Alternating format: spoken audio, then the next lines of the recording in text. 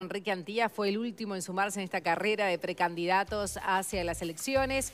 Por el Partido Nacional es el sexto candidato, pero además hay temas ineludibles bien vinculados con Argentina. Lo hablábamos también con la ministra de Turismo, lo que va a pasar de cara a esta temporada veraniega en el departamento de Maldonado. Enrique Antía, bienvenido, buenos días. Muchas gracias, buen día. ¿Qué tal? Bueno, hablábamos un poco con Lilian de estas medidas. ¿Te parece que son suficientes, que se puede hacer un poco más? Yo comparto 100% lo que está haciendo Lilian Sí, Maldonado ha hablado mucho con el Ministerio de Turismo y estamos compartiendo estas medidas que son absolutamente necesarias y no sé si alcanzan, pero por lo menos es una movida positiva para tratar de atemperar lo que puede ser dificultades en la temporada. Hace una buena coordinación en los departamentos turísticos, por llamarlo de alguna manera. Sí, nosotros, nosotros coordinamos, en Maldonado se coordina mucho con el Ministerio, la Dirección de Turismo, el sector privado de Maldonado, que está bastante organizado, eh, coordina muchísimo ¿eh? y, este, y se entrelazan opiniones permanentemente, se está trabajando en conjunto, digamos, y creo que está bien porque es una política de Estado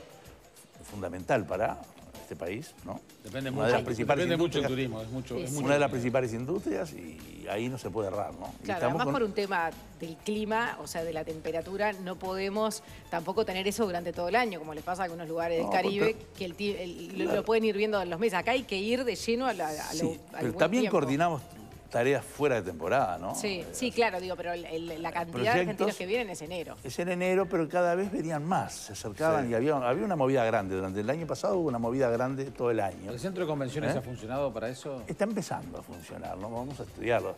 Lo importante es que se ha aprobado. El otro día hubo un congreso muy importante de alcaldes de América y gobernantes de tercer nivel de gobierno y con 2.600 inscriptos. Un montón de gente y funcionó bien. O sea, en pleno invierno, que lleguen a, Punta del Este, sí, Hoteles con mucha ocupación, restaurantes. Pero lo importante es que además funcionó bien. Es decir, técnicamente es, adecuado para eventos de ese tipo, donde había varias salas simultáneas. Se comieron los 2.500 ahí adentro, ¿no? comieron bien y rápido. Este, fue, se está probando. Con el tiempo va a tener más funcionamiento, porque los congresos no se arman de un día para el otro, ah, esa es la esperanza. ¿no? Hay que empezarse a instalar como una plaza de, congresos. De poquito. ¿eh? Mencionabas que el año pasado habían venido los argentinos durante el año. Estuvimos muchos este fin de semana en Punta del Este por los Iris y había muchas cosas cerradas, parecía haber mucho menos que el año pasado, ¿no? Sí, este año un poco menos. ¿Por qué? En medio de la tormenta la gente no, deja no la sale casa vacía. No deja la casa vacía, digo. Es decir, eh, sin duda que esta dificultad que está pasando Argentina va a tener algún, algún efecto negativo. Yo pienso que es inevitable que este, no, vamos a tener la temporada del año pasado, por más, vamos a hablar claro. Porque la del año pasado fue muy buena, comparada incluso con la del anterior. ¿Por qué? Porque vino la clase media argentina. Y esa fue la que hizo la diferencia. En, cantidad de gente, pero tampoco no gastó tanto, ¿no? No, pero en cantidad de gente vino la clase media y se estiró, se fue hasta marzo. Arrancó antes, arrancó en diciembre también. Claro, pero ahora es la que se va a retraer. Y, ahora es la que se va a retraer porque el ajuste económico en Argentina le pega primero a la clase media. Si tiene algún pesito lo guardan por las dudas. Sí, Para ver qué pasa. ¿Eh? Con, razón. Es sentido común eso. Entonces, creo que por ahí vamos a tener alguna dificultad más, allá de los precios. Y, claro. y en estas medidas, por ejemplo, ¿eh? de los hoteles de 3 por 1 ¿hay quién se hace cargo de las otras noches? Eh, la Intendencia una y los hoteleros otra. ¿eh? Y este, o sea que el turista paga una. El turista paga una. Nosotros nos hacemos cargo de una que la canjeamos por impuestos, reducción de impuestos a los hoteles. Y los hoteleros ponen otra, lo cual está bueno, es un buen gancho que lo estamos aplicando ya desde el año pasado para tarea de fuera de temporada. E incluso además están poniendo, con Amazonas, por ejemplo, también nos hicimos cargo de una parte de la tasa de, aeropuerto para facilitar eh, vuelos más baratos. Y es una permanente, y además estamos haciendo otras acciones, ¿no? Decir, hoy hay una delegación de, turismo de la Intendencia con, con gastronómicos de Maldonado golpeando la puerta a Gramado y trabajando en una, una promoción fuerte en, ¿Cuánto le cuesta a la ¿Eh? Intendencia todo esto? El, hecho de, renunciar a los impuestos para el hotel. Pero le cuesta, es plata invertida. No, no, no, un millón de dólares. gasto, pero... Un millón de dólares por año, más o menos, que nosotros en exoneraciones al área este, gastronómica y hotelera este, invertimos en promoción. Sí, sí, sí, sí. Y, y además nos complementamos bien con el ministerio, porque nosotros lo que no hacemos es publicidad. ¿No? El ministerio hace publicidad y ahí le bajamos la derecha. Nosotros hacemos otra, tarea que es este, más artesanal. ¿eh? Invitamos, por ejemplo, a medios de prensa y, empresarios de Rosario, de Córdoba, de Gramado, de Santa María, de Asunción. Eh, los traemos, los les pagamos los pasajes, le, damos- le mostramos las cosas que tenemos para que después difundan. Y eso ha dado un resultado estupendo. Y tenemos par de equipos técnicos que coordinan con todo el periodismo de- de- del litoral argentino, otros que coordinan con el de, de Buenos Aires, otros que coordinan hacia Brasil, ¿eh? y están permanentemente en la búsqueda de oportunidades. Y eso ha generado nuevos proyectos muy interesantes, ¿eh? que es lo que pretendemos, no solo el sol y playa, porque en el mundo el sol y playa, con el tema del ozono, claro. Sí. se ha complicado. Sí. Y, y- y- Y además hay la co- competencia es mucha y cada vez más Claro. global. Claro, y hay cosas muy buenas en, en- en- en- en el interior del departamento para otras épocas. Hay un turismo cultural a potenciar, hay un turismo gastronómico a potenciar. ¿eh? De hecho, ahora a fin de año viene eh, el directivo de la Organización Mundial de Turismo a, a tratar de ver si podemos armar una señal hacia el turismo gastronómico potencial, ese turismo gastronómico que Punta del Este es sí, evolucionar obvio. y ¿Cómo puede? de calidad. Eh, La semana pasada eh, fue la ministra y fue todo el equipo del ministerio. Inauguramos un proyectito muy lindo que es los caminos de la vida y el olivo, con varios circuitos turísticos de serranía y de interés. Está bueno. Digo, hay que seguir laburando mucho porque para hacer. hay mucho para hacer, hay mucha, mucha gente con iniciativa privada, hay mucha iniciativa privada que tenemos que coordinar, que tenemos que potenciar. ¿Eh? Y eso es desarrollo, ¿no? Bien, y en cuanto a eso también que, que afecta al turismo, el tema de seguridad, que muchas veces se han tenido algunos cruces, eh, ¿cómo se vienen preparando? Y ahí también piden No, ahí- medidas. Ahí no, ahí, ahí estamos siempre con el ojo y la lupa, ¿no? Sí, sí. Y las cámaras. Por eso, la lupa. la lupa, pero ha dado un resultado estupendo. Y eso fue lo que nosotros percibíamos que se tenía que hacer. Y era eh, el sector turístico, el que hacía congresos, veía que se estaba perdiendo pie en esa área. Ahí hablamos de la seguridad vinculada al turismo, ¿no? Porque en Maldonado, si uno mira la cifra de homicidios, se encuentran que hubo ya más homicidios de este año que el año Sí, pasado. eh, Hay otro lío ahí, Eh, ¿no? hay otro lío, y hay todo un tema, y hay todo un tema que desgraciadamente este, tuvo mucho que ver con la instalación de, de darle dimensión grande a la cárcel de Las Rosas, que era una cárcel regional y pasó a ser una cárcel realmente nacional, a la cual vinieron y trajeron presos de todos lados, y ahí junto con el preso vino el amigo, el amigo y el- la familia, y, y ahí cambió en Maldonado en los últimos 15 años este, el tema de la seguridad a partir de una decisión que Pero sí que no hay presos con más peso, o con más contactos Hay- hay internacionales. pesado, y el tema de la droga es un tema que este, está en todo el país. Y, sobre todo en lugares urbanos como Maldonado, donde la gente se conoce poco. Eh, este, y el área- es área metropolitana. Bueno, ahí nos encontramos también con el tema de- del lavado de dinero y las facilidades cuando muchas veces se señala a Maldonado como un lugar de lavado y también de residencia. Hemos tenido muchos casos en los últimos Sí. tiempos de, de eso. ¿Cómo, cómo lo ve el intendente? Comprobado dos. Lo de, Sí. lo de Balcedo y lo de la Sí. chacra del entrevero. Pero debe haber algún otro más, sin duda, porque este, es, eh, Uruguay y Maldonado, sobre todo, es un lugar histórico donde han venido inversores que a veces es lavado de dinero y a veces es evasión de impositiva y a veces son ahorros propios, bien hechos, ¿no? Y es difícil, este, eh, la Intendencia no, no tiene manera de saberlo ni de controlar. Bueno, eso mismo nos decía su, su anterior, el anterior intendente eh, de Los Santos sentado ahí. Yo firmaba proyectos que decía, "Pa, ¿y esta inversión? ¿A quién se le ocurre? Pero bueno, yo lo firmaba, daba No, puestos de pero, trabajo. pero lo importante es que hay- eh, lo, lo importante es que este, Maldonado sigue siendo un espacio, y no precisamente de lavado de dinero, un espacio importante para la inversión. Mire, la semana pasada, decir, con todo este lío que hay en Argentina, se me vino a verme dos desarrollistas, un argentino y un brasilero, que los dos hace años hacen cosas allá. Yo los veo juntos y digo, ¿qué van a hacer en este momento con estos líos que tenemos, tanto en Brasil como en Argentina? Y bueno, estamos con un proyectito así en José Ignacio, de esta característica, son casas. Y digo, ¿y pero por qué? Lo que pasa es que, a pesar de todos estos líos, Uruguay nos da garantías legales. Y nosotros estamos tranquilos. En ese sentido, podemos seguir trabajando. nosotros no podemos hacer lo mismo en nuestros países.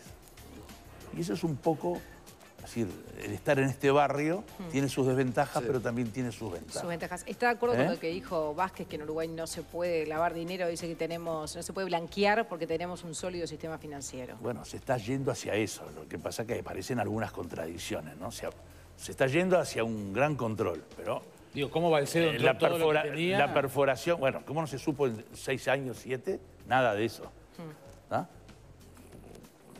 El, el episodio del- de la semana pasada, del desembarco de los bolsos K, eh, es decir, es otra señal de que, Sí. decir, por más que se planifique, si en la práctica de ahí, del discurso al hecho, hay una gran diferencia. Sí, y sí. ahí hay que ajustar, realmente hay que cambiar algunas cosas en materia de Contralor de Fronteras y de cierre de fronteras. Y es ahí donde las Fuerzas Armadas, el Ejército, la, la Marina, la Fuerza Aérea tienen que tener instrumentos y tecnología adecuada como para poder que esa cosa no pase. Porque la gente ve eso y dice, "Ah, me apretan a Que mí. no sea el colador que dicen inclusión los financiera, tengo que ir al cajero y moverme 20 kilómetros, me como unas colas inmensas, me como el solazo, de pronto voy y no hay plata y resulta que esto le entran por todos lados. Entonces la gente se calienta con eso. Y con respecto ¿Eh? al origen de los fondos, eh, ¿cuál es la posición tantía hasta dónde se debe avanzar? Porque también hay que dice, bueno, tampoco hay que ser tan, tan estricto, esto es, es inversión, eh, genera dinero, eh, que se preocupen otros por perseguirlo. Y esa fue la política de Uruguay en los 90 también de alguna manera, ¿no? Abrir las puertas al capital. Sí, yo creo que eh,